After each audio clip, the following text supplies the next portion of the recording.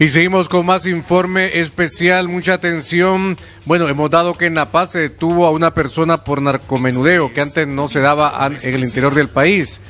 Y ahora también Charlie Pineda nos dice que se ha detenido una persona en Esperanza Intibucán, una persona que supuestamente pertenece a la pandilla 18. Voy con usted, Charlie Pineda. Así que gracias, televidente. Siguiente tal vez como habla Televisión Digital, la Fuerza Nacional Antimanas y Pandillas ha realizado importantes capturas en este departamento de Intibucá. Rápidamente voy a conversar con su vocero de esta zona occidental del país, Reinaldo Irías. Bueno, la Fuerza Nacional Antimaras y Pandillas en marco de las operaciones de Fusina y sobre todo pues esta operación Morazán 2 que se ha puesto en marcha a nivel nacional.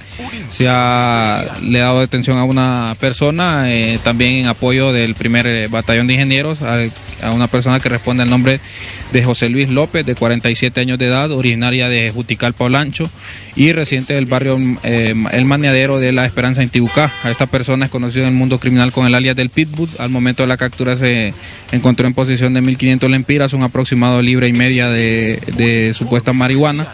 Este, esta persona, pues según su historial delictivo, se dedica a la venta y distribución de droga.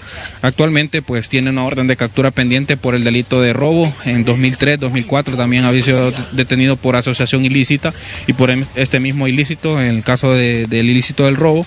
Eh, también tenía una carta a libertad definitiva por otro delito que ya, ya había pagado y actualmente también tenía una orden de captura por el mismo delito.